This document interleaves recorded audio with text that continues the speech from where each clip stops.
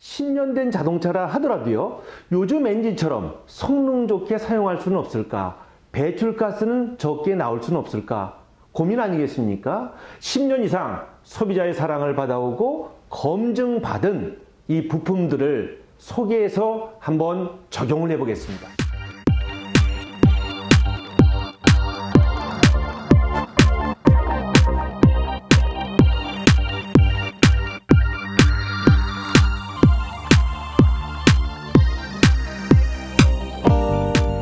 최근 출고되는 모든 차량에 대해서는 매연 저감 장치가 부착되어 나오지만 노후 경유 자동차에 대해서는 어, 매연 저감 장치 부착이 없습니다. 이 노후 경유 자동차에 대해 매연 저감 장치를 부착하면은 배출되는 매연은 최소 80% 이상 저감할 수가 있습니다. 아, 그리고 여기에 관련된 비용은 정부에서 90% 이상 국고 보조를 하기 때문에 아, 차주가 어, 경제적인 부담 없이 모든 저감 장치를 부착할 수가 있습니다. 20년 전 승용차 여성들은 운전 못했습니다. 핸들이 너무 힘들었죠. 그러나 파워 핸들이 나왔죠. 엔진의 힘을 빌어서 핸들을 편하고 쉽게 조작을 했습니다.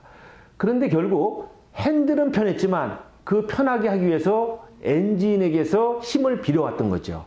요즘에는 엔진에 부담을 주지 않기 위해서 전기로 핸들을 조작합니다. 그만큼 엔진의 힘이 좋아진 거죠.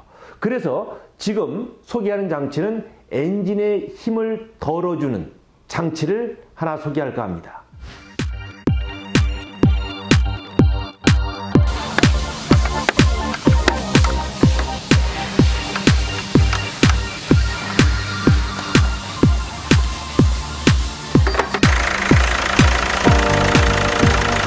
오일 펌프 또한 크랭크 축이 구동 회전을 하면서 펌프가 작동되니까 부하를 받았을 때는 엔진이 그만큼 더 힘들게 구동되는 거죠. 그런데 이 듀얼 파워를 장착함으로써 그 불필요한 압력을 해제시켜 줌으로써 힘이 더 높게 발생할 수 있습니다. 50만 킬로 정도 탔어요.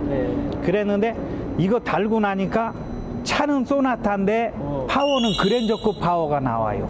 스타트 빠르고 엔진 소음 줄고 부드럽고 이 원인이 뭔가는 모르는데 하여튼 달아보면은 알아요. 우리나라 자동차 정말 좋아졌습니다.